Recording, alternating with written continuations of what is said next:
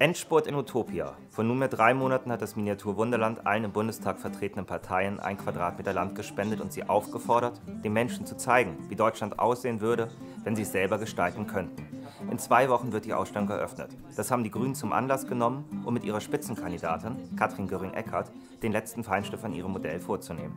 Wir haben Frau Katrin Göring-Eggert hier bei uns aus Berlin und wir haben Frau Heiduck und Frau Fegebank hier aus Hamburg. Und sind ganz gespannt, ob wir gleich richtig einen auf den Deckel kriegen.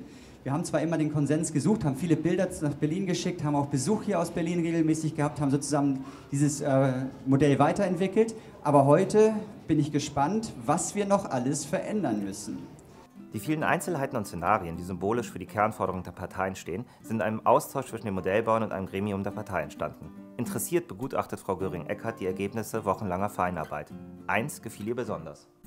Also äh, meine Lieblingsszene auf jeden Fall ist die Ganztagsschule, die auch sehr zentral steht, äh, die auch so ein bisschen ein, ein Mittelpunkt ist eines ja, städtischen Lebens in dem Fall. Und das kann man hier sehr gut sehen. Dass jedoch nicht alle Wünsche zu voller Zufriedenheit erfüllt werden konnten, zeigt sich an kleinen Details. Mir fällt natürlich auf, in dieser Fabrik, ne, da arbeitet keine einzige Frau. Können wir das vielleicht noch ändern? Also ich meine, ähm, es ja, macht den Eindruck, als ob das jetzt ein Männerberuf wäre, plötzlich Maschinenbau. Unbedingt. Ich finde, da müssen wir noch, da muss noch was dazu. Genau. Im Großen und Ganzen war die Delegation der Grünen allerdings sehr zufrieden. Alle wesentlichen Punkte des Wahlprogramms für 2013 haben ihren Platz auf dem Quadratmeter Utopia gefunden.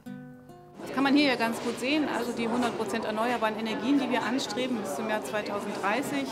Natürlich mehr Zusammenhalt, mehr Gemeinsinn, äh, beispielsweise mit einer guten Kinderbetreuung für alle Kinder mit Ganztagsschulen, mit einem Ende der Zweiklassenmedizin, also einer Bürgerversicherung, mit einem Ende der Massentierhaltung. Hier haben die Kühe und die Hühner tatsächlich wieder Auslauf und können artgerecht leben. Man kann sehen, wo es um bessere Arbeitsbedingungen geht, also ein Ende des, Min ein, Ende des Niedriglohns hin zu einem Mindestlohn.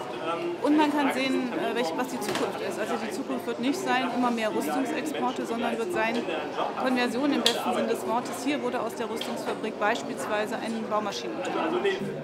Die Spitzenkandidatin der Grünen legte aber auch selbst Hand an und verewigte sich in dem Diorama. Im Anschluss an die Präsentation ließ sich die Delegation nicht davon abhalten, noch einmal einen kritischen Blick auf die Dioramen der anderen Parteien zu werfen. Parallelen und Differenzen zu erörtern, war für alle Anwesenden durchaus unterhaltsam.